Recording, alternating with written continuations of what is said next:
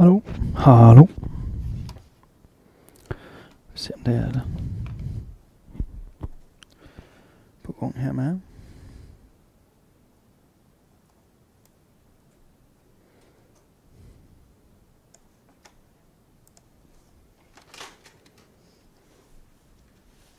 Nämen.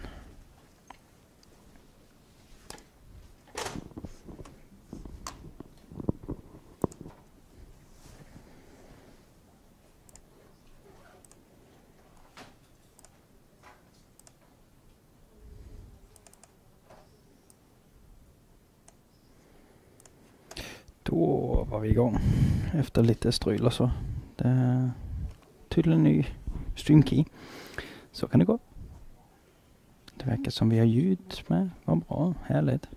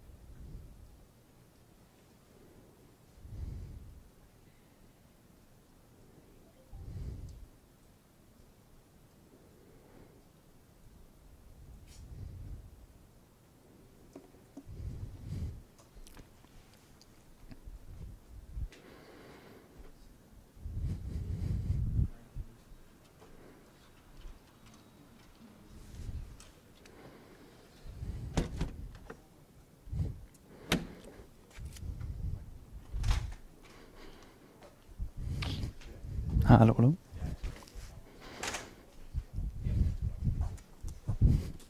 Ja.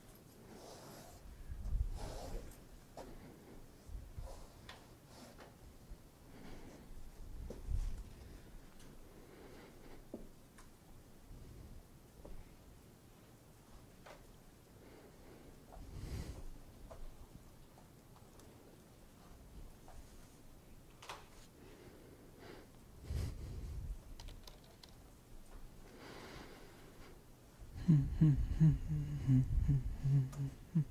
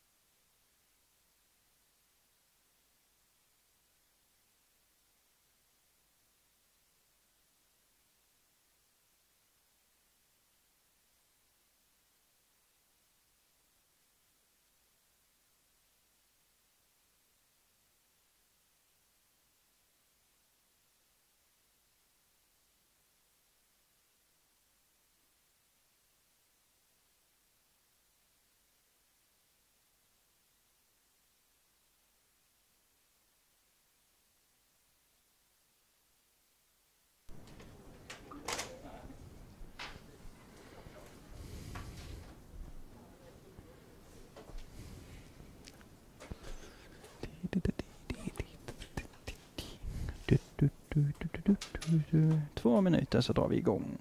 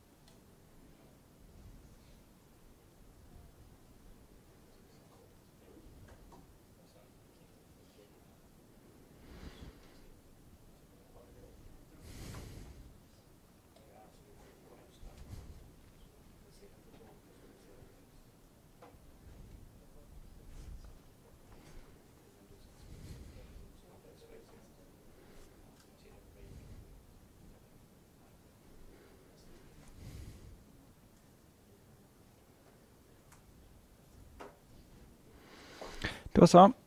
Då var hon kvart över. Tänkte vi skulle dra igång. Eh, främst till kurspaketen. Jag heter Emil. Eh, har nog inte träffat er tidigare, kanske lite grann i introveckan. Eh, jag har hand om tisdagsgenomgångarna här i kursen. Eh, och jag eh, det här mjukare aspekterna inom webbprogrammering. Eh, vi ska främst titta på HTML och CSS, HTML5, CSS3 eh, och hur vi kan använda det för att eh, anpassa de sajterna som vi gör i andra tekniker till ja, så den passar människorna som helhet, eller vad man ska säga. Eh, så vi får lättare möjlighet för att ja, sälja, för att eh, användarna ska kunna läsa vår text som vi skriver på en hemsida väldigt bra. Eh, så vi har möjlighet för att eh, förmedla det budskapet eh, som vi vill komma fram med. Ehm, men tanken med den här kursen är ju inte att vi, eller hela program, programmet i sig är ju inte att vi ska bli webbdesigners. Eh, det finns både yrkeshögskola och högskola och alla möjliga utbildningar där man kan bli webbdesigner. Eh, men vi ska skaffa oss några verktyg så vi vet hur vi kan prata med de här som är webbdesigners. Och det finns fantastiska webbdesigners där ute som är väldigt duktiga på att skapa helheter och skapa häftiga, coola saker eh, så att de kan förmedla vissa budskap. Eh, och då är det viktigt för oss eh, som programmerare att veta hur vi omsätter det i först och främst HTML5, eh, hur vi omsätter det i CSS3 så vi det ser ut som det ska vara. Eh, och sen läser eh, programmet ju JavaScript kursen eh, i parallellt och där lär vi oss lite om hur vi kan få in vissa av de här interaktivitetsdelarna. Eh, ja, vi kan göra vissa roliga saker med JavaScript, eh, lägga på ett lager av interaktivitet ovanpå. Med den här kursen så blir fokus HTML5, CSS3. Eh, jag har väl fått rollen eh, i den här kursen att jag ska vara den lite coola. Jag ska stå och göra massa coola saker med CSS3. För det är Mikael kanske inte är världsbäst på. Um, så det får bli min roll. Uh, så jag kommer varje tisdag är det, um, stå här och sen kommer jag göra lite design uh, förhoppningsvis. Eller visa upp olika konstruktioner i CSS3 uh, eh, i samband med HTML. Eh, hur vi kan få våra sidor till att se lite bättre ut. Um, idag kommer vi väl ta en hyfsat mjukstart. Um, ehm, där vi tittar lite på den HTML-strukturen som vi får från ramverket. Uh, ni ska ju koda som en del av ett ramverk. Um, och hur vi kan styla upp det från i princip ingen style alls till att vi får upp det så det är i alla fall användbart. Uh, typ det som ni ska göra i det här kursmötet. Så jag kommer gå igenom vissa av de delarna, hur vi centrerar lite content och hur vi strukturera upp det och hur vi får in det så vi får en foto med lite färg och lite sånt. Eh, ska vi se här. Där så ser jag streamen.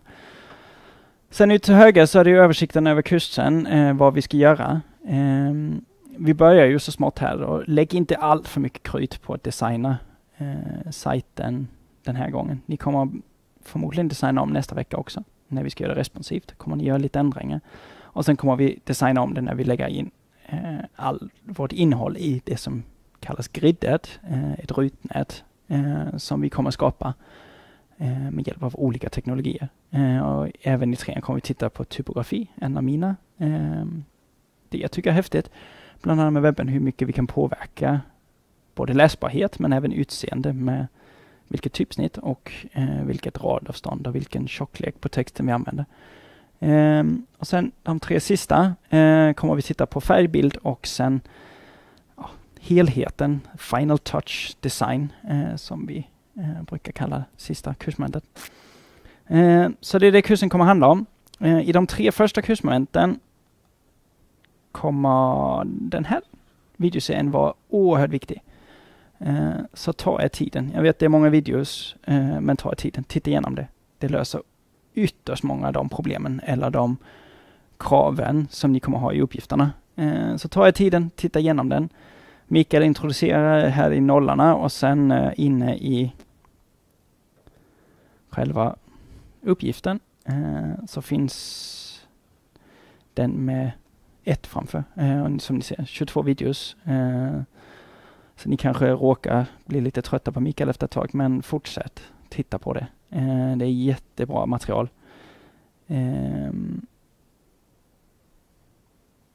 jättebra material och det löser väldigt stora delar av uppgiften. Eh, vi hade många kommentarer förra året att ja, det var hur svårt som helst tills jag tittade i videon och det löste allt sig magiskt. Så ta er tiden att titta igenom det. Det är jättebra grejer. Eh, jag hoppade ju in på den här eh, Bygg en redovisa-sida till kursen design och jag har installerat labbmiljön Eh, och klonat repot och det är ungefär därifrån jag står. Eh, och så tänkte jag egentligen bara sätta igång och jobba lite med, se vad som finns på sajten. Eh, vi kommer kolla en hel del i Inspect, eh, Inspect Element. Kommer använda den funktionaliteten där, där man kan eh, designa rakt i eh, konsolen, JavaScript-konsolen eller Inspect Element. Eh, det är något jag använder väldigt ofta när jag ska designa en sida eller om man har något befintligt att utgå ifrån. Ja, men så sitter vi och pillar lite där och ser hur det blir eh, blir det nog säkert bra. Eh, så vi kommer utgå ifrån det och sen eh, tar vi det vi skapar där och lägger in i eh, CSS-filen eh, för kursmedlet. Så det är typ där vi börjar. Så vi, eh, vi börjar med att kopiera över eh, exempel redovisa eh, katalogen till Mi-katalogen. Så vi står i webbkurser design och AdSynkar vi över. AdSync um, ehm, är väl kanske inget ni har använt tidigare för att uh, kopiera över saker. Men det är det som i bakgrunden används av uh, det webbskriptet när vi uh, skickar upp saker till studentservern till exempel. Um, vi gör väl så. Um, och som vi ser så swishar det en massa filer förbi och uh, det kopieras uh, mycket. Nästa kommando var att vi skulle gå in i CDMI och sen redovisa. Eh, och då kan vi väl köra en LS och se vad som finns. Eh, det finns lite olika kataloger. Eh, den som egentligen är intressant idag är den som heter HTDocs-katalogen. Ehm, som är den som eh, innehåller den, eh, för det första index.pop, som är den som frontkontrollen som öppnar upp ehm, hela webbplatsen och sen i den finns även eh, CSS-filen för kursmändet. Um, ehm, det var ett sista kommando, eh, uh, Composer install. Uh, Composa är en pakethanterare för ehm, um, POP-filer, uh, eh, POP-moduler. Uh, som något som ni kommer använda uh, i den här kursen. Ni kommer använda det i OOPOP som går till våren. Ni kommer använda det i ramverk 1 som går uh, just nu samma läsperiod, men för tvåorna. Um, ni kan tänka er typ AppTsyc eh, i Cykvin, men enbart för POP-moduler. Typ. Lite så. Eh, så en pakethanterare som hämtar ner olika paket och vet om vilka beroenden ett paket har eh, och kan därför tanka ner eh, alla beroenden eh, som ett paket har. Ehm, så när vi kör Compose Install ehm, så eh, läser Compose Install filen composer.json eh, och i den så är det definierat att eh, jag vill ha alla de här paketen som finns här nere. Eh, och sen eh, sätter Composer igång med att installera det, eh, eller ladda ner och ehm, installera det. Och eh, sen efter ett tag så är man klar med det och då ska ehm, hemsidan helt magiskt börja fungera. Eh, för går vi in på sidan nu. Eh, så får vi sådana eh, vendor autoload eh, filer. Eh, men det ska lösas av eh, Composer förhoppningsvis. Eh, när den någon gång är klar. Så, och det står ju längst ner eh, generating Outload eh, file. Eh, så nu har vi den här Outload-filen som laddar alla paketen som vi har tankat in och sen hoppas, hoppas. Vi hade då en hemsida helt plötsligt. Um, och det är den här redovisningssidan som vi utgår ifrån. Uh, och som vi kommer utgå ifrån uh, genom det mesta av kursen. Um, där vi bygger på lite olika bitar, kursment för kursment, uh, och bygger en lite större sida. Eh, så det finns hem, det finns redovisningstexter. Eh, som vanligt så ska vi ju skriva det. Eh, och sen eh, finns det om. Eh, skriva lite om kursen. Eh, vi känner igen det här från HTML POP-kursen med de olika namnen. Eh, men sen finns det ju två nya eh, som vi inte känner igen från HTML POP. Ehm, verktyg. Ehm, de olika verktygen som kommer introduceras i de olika eh, Det Eh, står lite olika om eh, hur man importerar, hur man jobbar med de här. Eh, och det är mycket här Mikael kommer jobba på de olika eh, föreläsningar han kommer ha på onsdagarna. Eh, så han kommer väl utgå en hel del ifrån det här. Eh, prata lite om markdown, shortcode, front matter och hur ramverket fungerar i sig. Det här är ju ramverksspecifika verktyg eh, först och främst. Sen finns det en grej som heter styleväljare. Eh, I Mikkels eh, videoserie här eh, så börjar han prata om den i typ video 19. Eh, så där kan man, eh, när ni sen kommer så långt i videoserien så ser ni hur man kan lägga in en default eh, style sheet, hur ni eh, lägger till eh, lite sånt och hur man kan ändra i den och så. Eh, så där kan ni titta sen.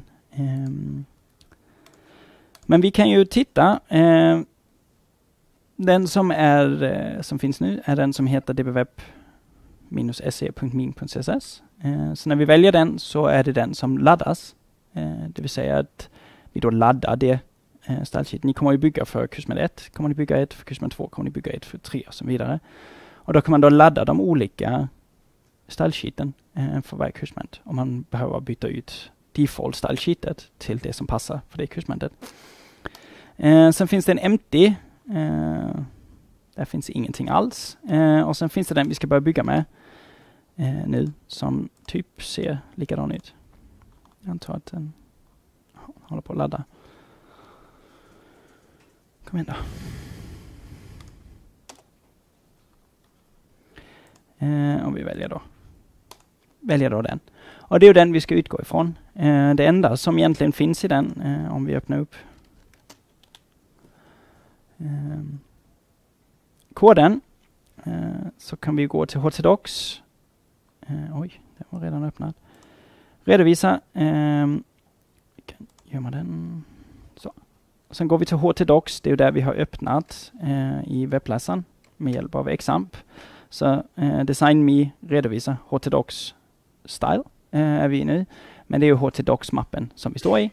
Eh, och det är ju den indexfilen som finns där som är den som laddas. Um, och här ser vi även att CSS finns. Uh, I kommande kursmoment så kommer vi använda det som kallas en CSS preprocesser Uh, eh, där vi kan börja använda variabler i CSS. Vi kan börja använda det som kallas mixins, det vill säga funktioner, uh, typ. Um, och vi kan strukturera vår CSS-kod i eh, moduler. Så eh, det man kan göra är att man då, eh, då kommer vi skriva vår kod någonstans utanför den här htdocs-mappen och då kompilerar vi då vår CSS in i CSS-mappen. Men för Qsmet så börjar vi med eh, helt enkelt bara ändra den här com01.css. Eh, och som vi ser så finns det inte jättemycket. Eh, det enda den egentligen eh, gör, det är, eh, det finns någon sån eh, responsiv meny som kommer in från sidan. Eh, som om man, den här, eh, det är den den gömmer, själva ikonen för den. Eh, den behövs inte här i kursmodellet, så den väljer vi att gömma. Så common01.css, det är den vi ska börja jobba med. Eh, och som vi ser så är det ju ingen style alls. Eh, så vi kan väl eh, vi kan väl börja med eh, att helt enkelt eh, ta väck eh, webbrowserns standard style, eh, som det heter. Eh, webbläsaren har inbyggt i sig, de olika webbläsarna har olika standarduppsättningar av CSS som visas i webbläsarna. Um, I den guiden som finns någonstans. Ja. inte här, backa ett steg. Eh, kursmed 1-sidan så ska det finnas en guide någonstans. Uh, här. Um, så finns det något som heter normalisering av CSS. Um, från och med nästa kursmoment så kommer ni använda eh, något som heter normalize CSS. Eh, men vi kan den här gången använda det som jag brukar kalla eh, poor man's normalize. Eh, och helt enkelt nollställa eh, allt som finns i, i filen. Eh, för tittar vi nu så ser vi att det är en liten eh, padding här. Det finns lite marginal eh, på vissa ställen ehm, som gör att eh, vi kommer sen bråka med det om vi inte nollställer. Ehm, så kommer vi hela tiden bråka med ehm, webbläsarens standarduppsättning av CSS. Så om vi eh, längst upp ehm, i CSS-filen. Eh, vi skriver kommentarer med eh, slash stjärna.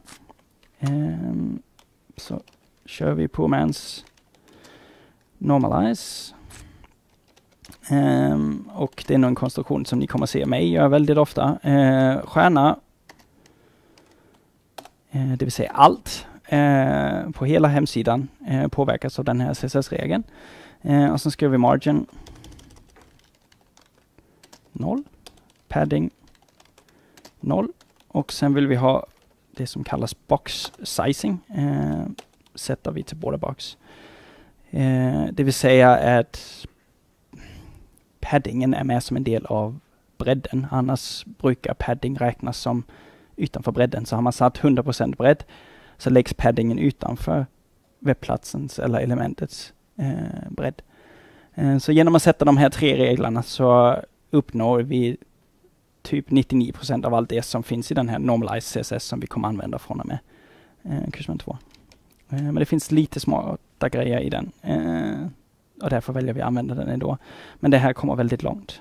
Um, laddar vi om sidan då uh, så ser vi att det blir lite annorlunda. Um, och nu har vi verkligen nollställt. Um, vi ser att marginalen försvinner, marginalen mellan de olika uh, försvinner. Och sen behöver vi inte bråka med det här sen när vi själva ställer en padding på eh, 10 pixlar i något eh, element.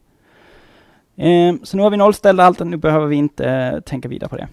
Eh, som jag sa, inspect element. Ehm, här får vana använda det väldigt ofta. Ehm, ni kommer ju i JavaScript-kursen lägga mycket kraft här. Ehm, vi stannar kvar här i den här eh, inspektorn. Eh, som ni kan se så eh, är det någon form av HTML-dokument. För alla olika sidor så kommer det finnas en klass på body-elementet som heter route och sen eh, den här urlen, biten, style. Eh, så man kan veta om att vi nu är vi på route style eh, och kan göra då lite saker. Sen finns det ett element som heter wrap all. Den wrappar allt innehåll.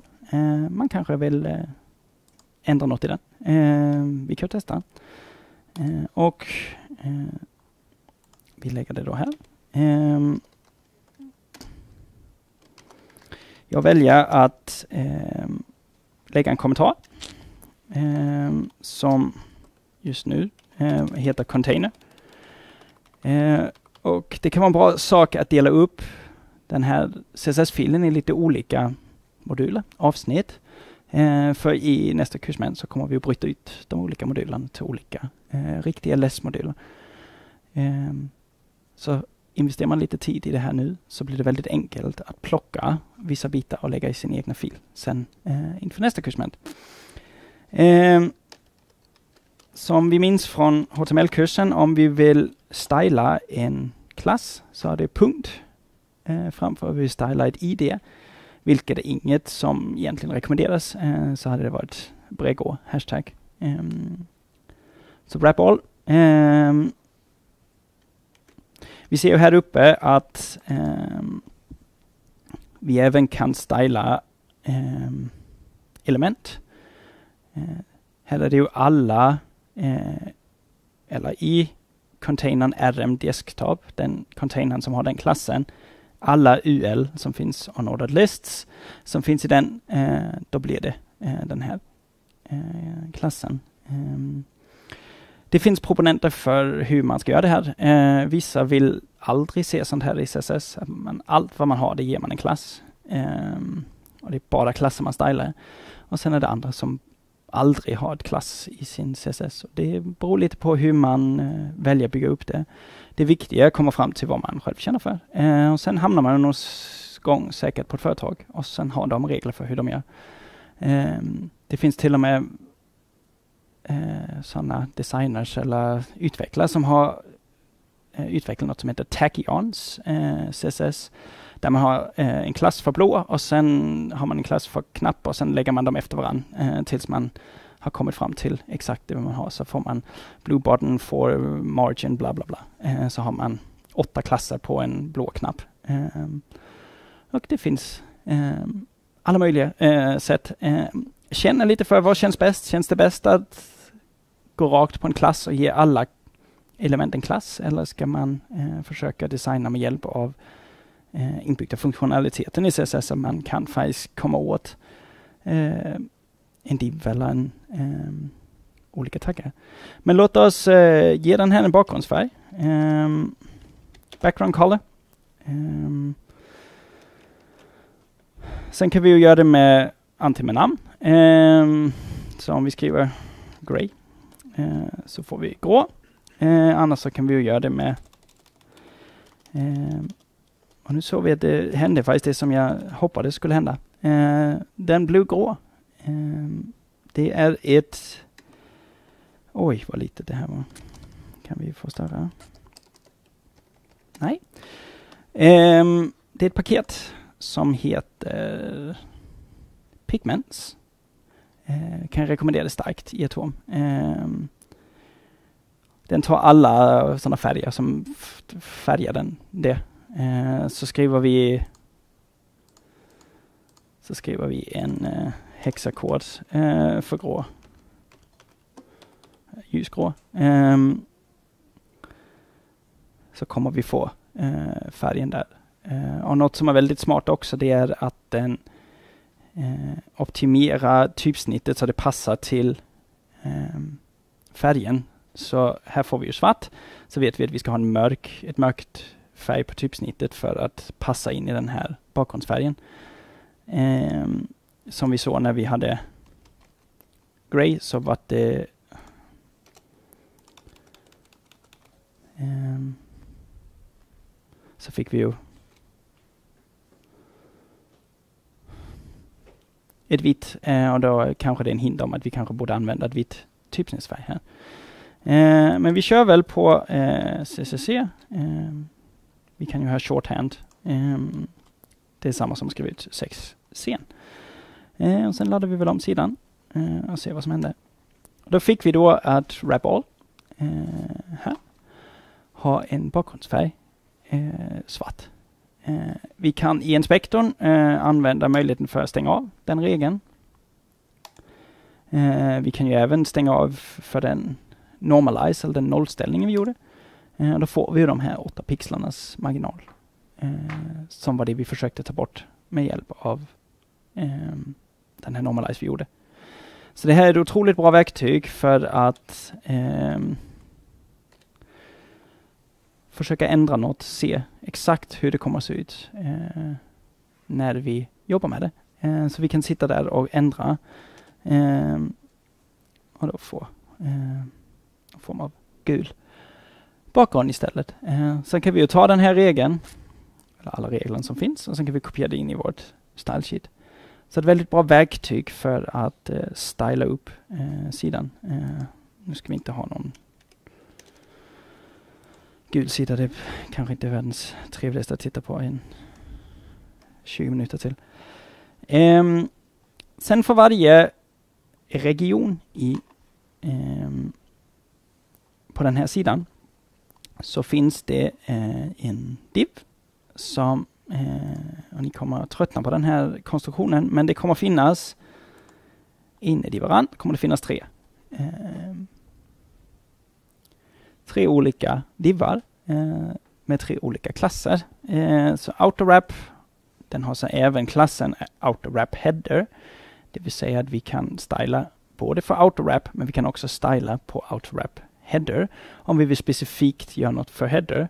Men vi kanske vill göra något eh, generellt för alla som har autorap. I och med att alla klasser har autorap så kanske vi vill vi gör det någon gång. Eh, innerwrap eh, och sen har den row. Och sen finns det eh, in i den så finns det själva elementet. Eh, region header.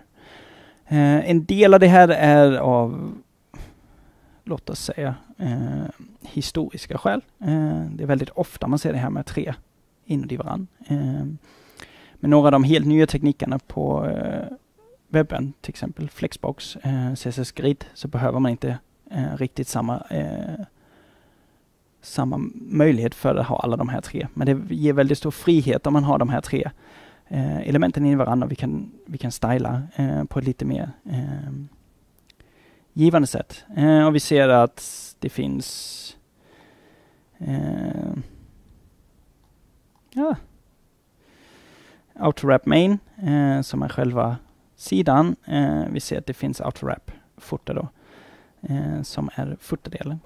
Eh, eh, ett sätt man kan göra på är ju att eh, i en annan webbläsare, eh, vi, se, vi får en Chrome in här också. Eh, så kan vi ju ta samma. Eh, och då kan vi ju Här har vi ju inte valt ett style sheet och då kan vi ju då titta på hur eh, det som är grundstylen, eller typ DBWeb SE-stylen, eh, eh, ser ut. Och då kan vi ju ta lite kanske eh, inspiration från hur, hur det är strukturerat. Um, och det ser vi ju att autorap uh, här är fullbrett. Uh, ehm, det är ju även ja, det är någon liten uh, marginal på sidorna. Ehm, det kan vara bra att lära sig vad de här olika färgerna betyder. Eh, om vi ser att det blir färgat blått och sen är det lite orange på sidorna. det blåa är själva content. Det orangea är marginal. vi kan säkert öppna upp den så får vi säkert en padding på vissa. Och där ser vi den gröna då är själva paddingen. Eh, så när man bara för musen över så får man en bra eh, översikt över vad som, som egentligen är de olika. Och här ser vi till exempel att det är lite marginal åt ena sidan. Eh, så lär dig använda eh, Inspect. Eh, oerhört bra verktyg. Eh, så låt oss eh, fortsätta lite. Eh, I container där tänkte jag vi skulle lägga allt som har med eh, de stora eh, huvudelementen eh, att göra. Eh, så vi kan ju ha autorap. Eh, alla element som har klassen autorap eh, vill vi sätta till exempel width 100 eh, så vet vi att de alltid sträcker sig över hela sidan. Eh, och med tanke på att vi satte box sizing border box så riskerar vi inte att det eh, kommer ut från utsidan. Um, eh, utanför eh, webben eller utanför webbläsaren. Det hände ingenting och det var också väntat i och med att ett element redan fyller upp. Men nu är vi säkra på att den i alla fall fyller upp. Um, och då kanske vi vill designa de här inner wraps eh, som finns inuti ehm, um, autorap eh, till att bara fylla, låt oss säga 80% av webbplatsen. Um, Så om vi eh, för alla eh, punkt inner wrap. Vill då att den ska fylla eh, 80 procent och den ska centreras eh, så minns vi ju från HTML POP att vi kan sätta en bredd 80 procent. Och sen kan vi använda eh, margin eh, 0. Vi vill inte ha eh, någon padding eller någon margin eh, ovanför eller under.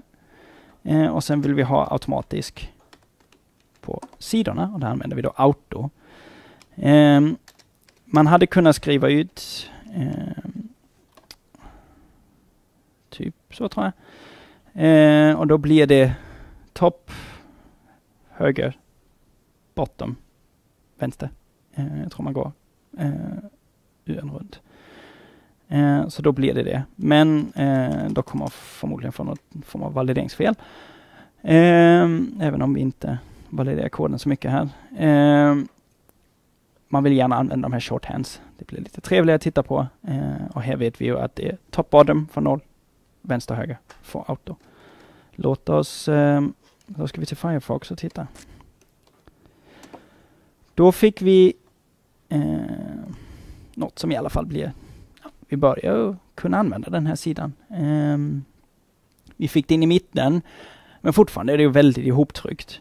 Um, så låt oss um, i alla fall för main container, det vill säga att vi på um, gör en ny um, kommentar här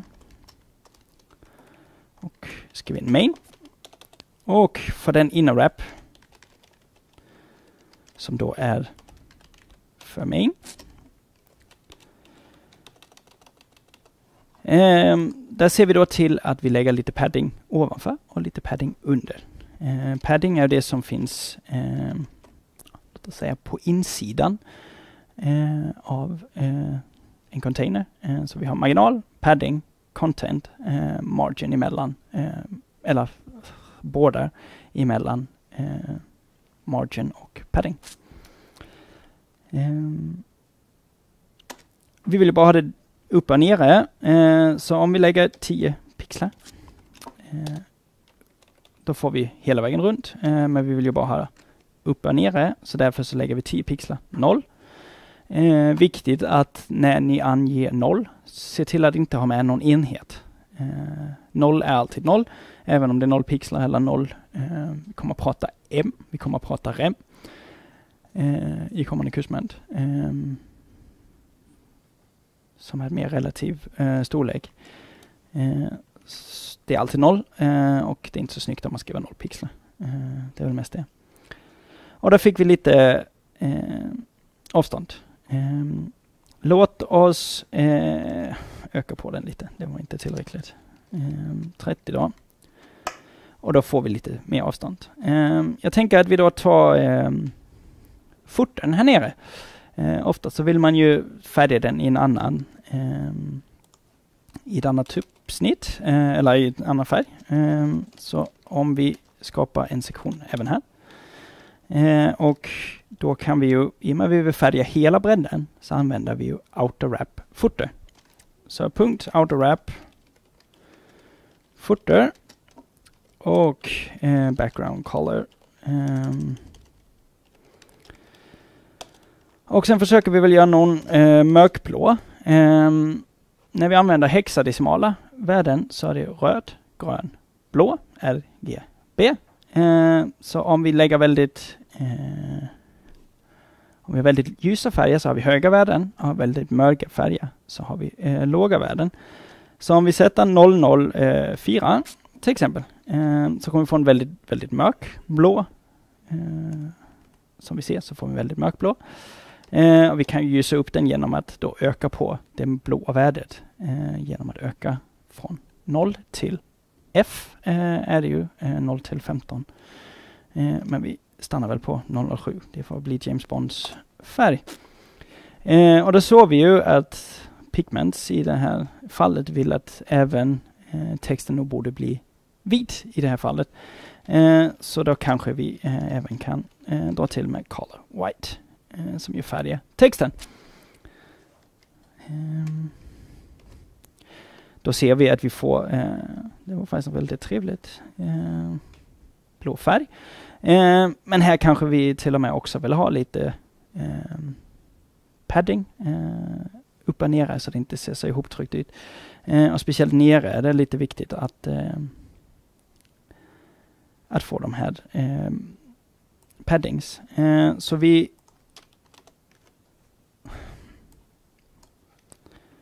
tar och kopiera och sen byter vi ut till InnoWrap. Vi vill bara påverka, eh, vi vill inte ha paddingen längst ut, vi vill påverka eh, elementet närmast. Eh, ja, vi hade kunnat lägga det på eh, AutoWrap också. Eh, just när det är uppe och nere. Eh, men vi kanske vill påverka det eh, längre fram. Och vi lägger väl eh, precis på samma sätt som i InnoWrap main till eh, 30 pixlar. Och vi får då lite avstånd. Ehm, vi kan då fortsätta. eh, titta här. Eh, vi scrollar ner. Gå in i footer eh, och vi ser då att det finns, ska vi se, låt oss säga två huvudelement. Eh, det finns en eh, columns och sen finns det en som heter block eh, som ligger under eh, i flödet. Eh, och vi kanske vill att vi ska fördela de här eh, footer columns i de olika, eh, i tre bredvid varandra. Eh, men vi kan ju i alla fall börja med att eh, den här block som finns här, att flytta ner den och då centrera texten i den. Ehm, det gör vi genom att Eh, vi har Region Footer, eh, som ju är vår region.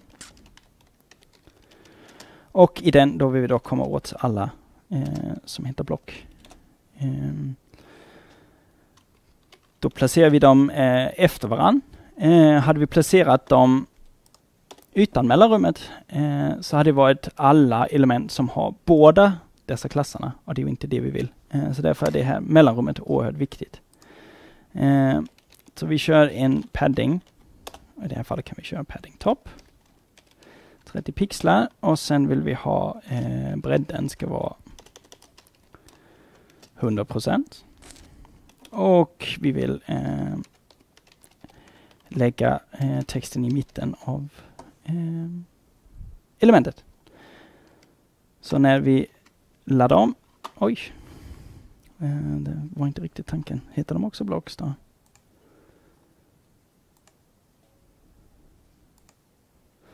Nej.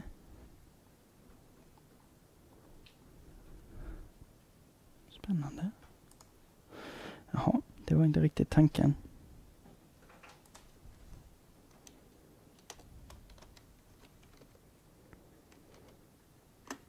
Så, um, det jag gjorde där var då att eh, bara som de som är direkt nedstigande barn till region Fooder och som även har klassen punktblock. Det gör med hjälp av den pilen. Eh, så bara de första elementen i region Fooder som även har punktblock eh, får bli så här. Eh, så då fick vi det precis som vi ville. Eh, att vi får det i mitten och ehm, texten centrerade vi får lite upp, upp och ner. Eh, jag tänkte att vi skulle ta tag i eh, navbaren. Eh, det kommer att bli ungefär samma eh, tänk som med foten här eh, och de olika kolumnerna där. Eh, så låt oss eh, titta på den eh, genom att skapa en ny eh, del som heter header. Ehm, och eh, där vill vi kanske inspekta elementet här.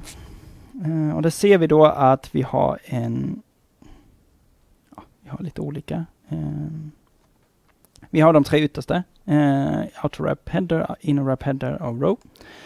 Ehm, och sen har vi regionen och i den då har vi då eh, region column 1 Eh, det vill säga det stora lövet eh, och lilla lövet också tror jag. Eh, och sen har vi eh, kolumn 2. Ehm, och då vill vi ju då eh, flytta eh, de den första kolumnen till vänster, den kanske får ta upp 30 och sen flyttar vi den andra till vänster också, kan ta upp typ 60 procent. Ehm, då kan vi sätta lite marginal på dem. Eh, och de hette ju Region uh, Edidas HTML. Eh, region header call 1. Eh, och klistrar vi in där. Eh, oftast är det bra att eh, klistra in eh, så slipper man göra dumma fel genom att bara ha skrivit fel. Ehm, vi vill floata den left Eh, och vi vill att den ska ta upp 30 procent av bredden som finns kvar för den. Eh, så vi får lite plats med eh, den andra delen. Och vi gör typ samma för koll 2. Och då vill vi då ha eh, 60% istället och sen vill vi ha lite marginal. Eh, vi har den längst till vänster, vi vill ha lite marginal åt höger. Eh, så bara låt oss ta 10 pixlar. Ehm, och då får vi se vad som händer. Ehm, och det blev lite annorlunda. Ehm, kanske inte riktigt som vi hade väntat oss. Vi måste ju eh, se till att vi då clearar eh, floatarna när vi har eh, gått ner till nästa eh, element och eh, ett hett tips är att man gör det på row. Eh, och då kan man nog till och med göra det på after. Så punkt row after och då kör vi clear. Both. Eh, de här punkt punkt eh, eller, eller kolon kolon, eh, det finns även enbart kolon. Eh, det är det som heter pseudoklasser. så den här cleara allt som har med floats att göra efter elementet row eh, som ju var en av de tre klasserna som vi hade. Eh, det finns before, eh, om man bara har en så finns det hover. Eh, en smart sak med ehm, atomer är ju att man får upp dem eh, när man ser dem. Eh, och vi kan ta en, eh, en titt på den här i en av de kommande eh, kursmomenten när ehm, det blir lite viktiga att kunna Eh, de kanske. Eh, så, Det hade jag hoppats skulle lösa allt här. Um, det är något med man ska göra något sånt här.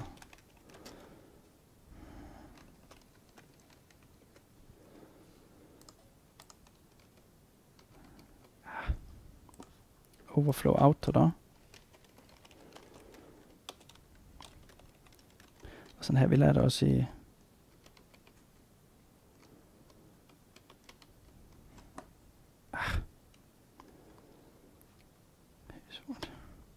Varför blir det inte som jag hade tänkt mig här?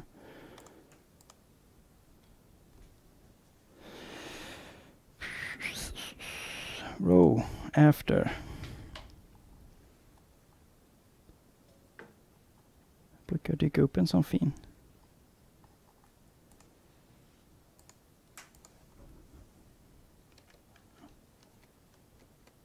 Laddar den inte eller?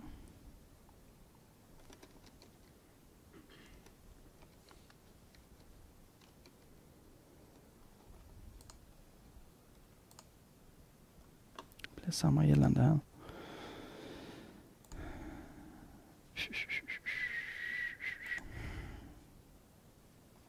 Tycker jag den borde dyka upp här i alla fall, men det gör den ju inte verkar som.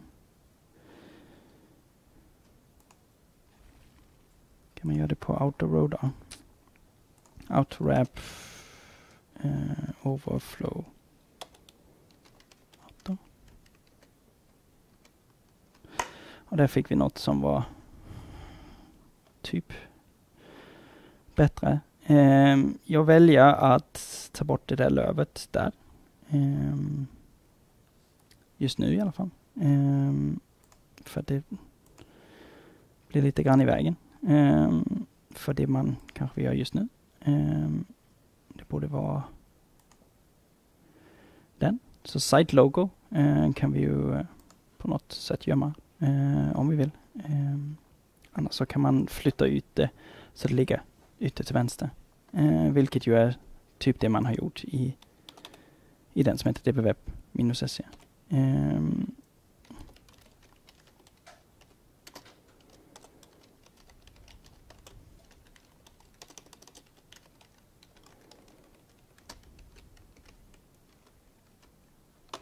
Så, då har vi en sida som väl kanske är lite bättre att utgå ifrån.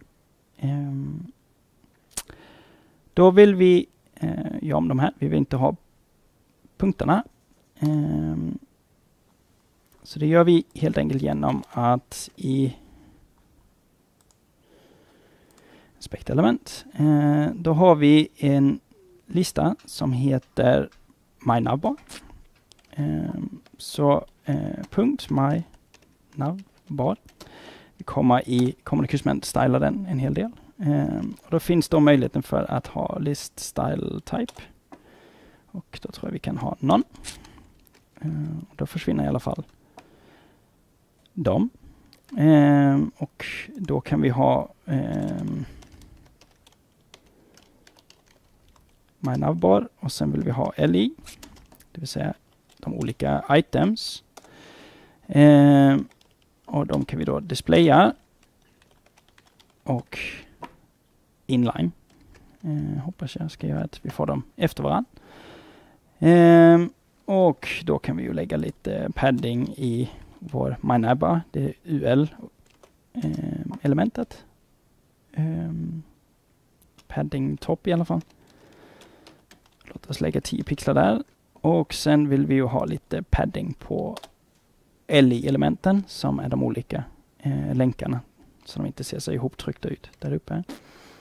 Så vi vill ha eh, lite olika padding eh, där uppe och där nere. Så låt oss säga vi vill ha två pixlar där uppe och vi vill ha tio pixlar på sidorna. Eh, och då får vi ju något som var lite trevligt att titta på. Oj! Tryck OK. Jag håller på för länge helt enkelt.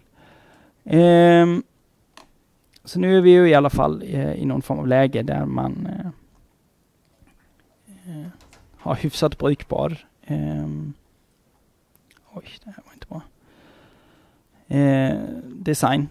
Ehm, det börjar likna något i alla fall. Ehm, på vissa av de här sidorna, var inte där, men till exempel redovisning. där har vi ju det här med att vi har eh, i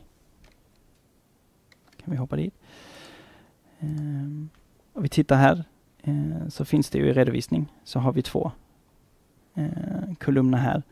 Det kan ju vara trevligt att eh, ha två kolumner även på, på er sajt. Ehm, och man kan ju ta en hel del eh, inspiration här i, i den som, är, som finns med. man kan ju gå in och titta i den. DB Web um, stilen som även finns. Um, det smidigaste sättet är nog att, att inspektera. Um, vi har i alla fall börjat nu uh, visa hur man, uh, hur man kan börja. Um, Hett tips för veckan är se till att titta på videos från Mikael. Det löser oerhört mycket. Annars är det lycka till med kurs 1 och eh, jag hoppar väl in i Gitta-chattarna och det.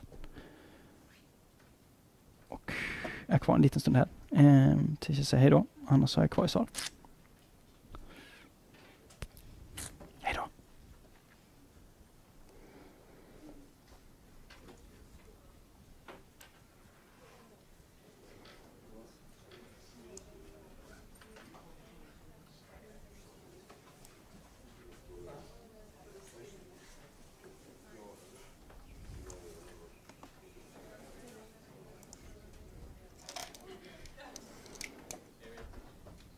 Jag ska bara avsluta och lite så.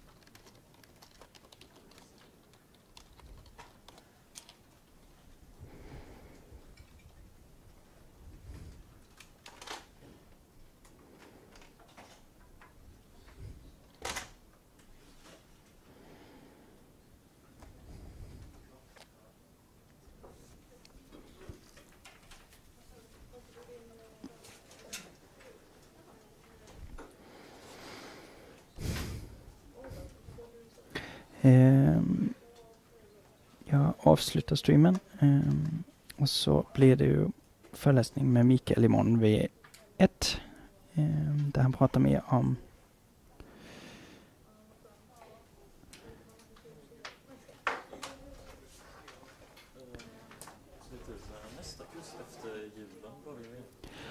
Eh, vi har ju, ja, vi kan stänga av streamen här så vi slipper.